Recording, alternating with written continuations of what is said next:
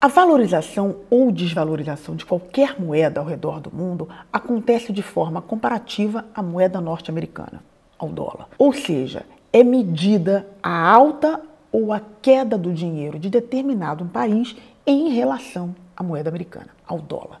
Essa oscilação acontece de acordo com a lei de oferta e a lei de procura. Não tem jeito. E ela representa também a riqueza de um país. Quando há uma valorização, é porque há muita moeda e alta na compra de bens ou de serviços. A desvalorização ela pode ocorrer quando há baixa procura pela moeda local ou uma maior procura pela moeda estrangeira. É exatamente o que a gente vê no nosso dia a dia aí no Brasil, tá bem?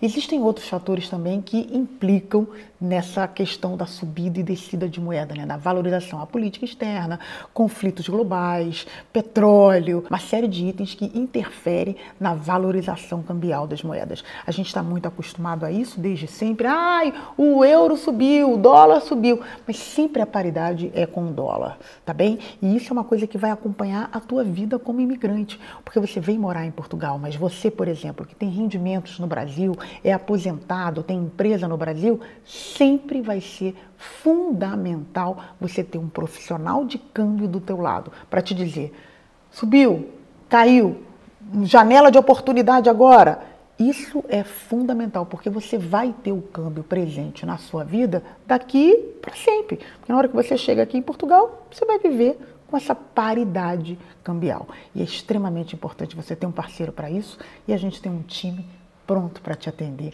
aí no Brasil.